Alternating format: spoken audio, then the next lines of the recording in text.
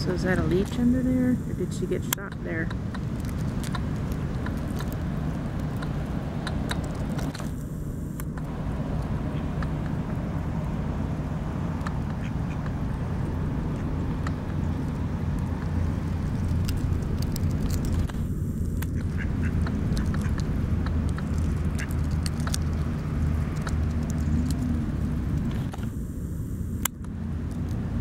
Yeah, start. See, there's something wrong with her eye, too. Yes, a star.